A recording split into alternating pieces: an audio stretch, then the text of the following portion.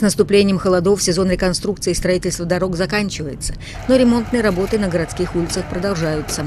Как утверждают специалисты управления коммунального хозяйства, зимой состояние дорожного покрытия требует повышенного внимания.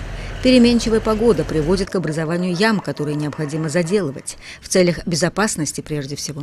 Из-за перепадка температур асфальт э, трескается и появляются трещины, в которые попадает вода, после чего образуются глубокие ямы которые, э, согласно правилам и закону, нужно ремонтировать своевременно. Данные ямы могут представлять опасность для передвижения транспорта, э, вследствие чего могут случаться аварии, разрыв покрышек э, или деформация литых дисков.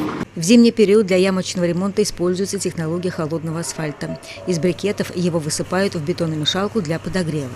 Параллельно яма очищается и просушивается. Затем в нее укладывается уже разогретый асфальт, после чего трамбуется.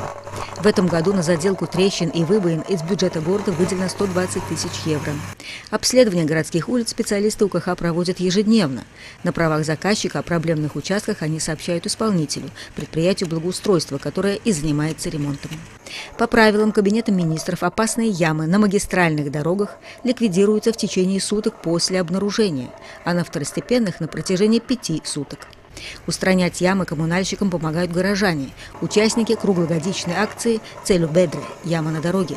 На сегодня от них получено свыше 20 заявок.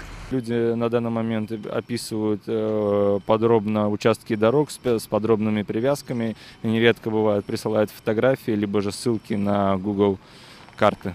Согласно дорожной спецификации, ремонтировать опасные ямы можно при любых погодных условиях. Напоминаем, что сообщать о повреждениях горожане могут на электронный адрес целюбедре.inbox.lv.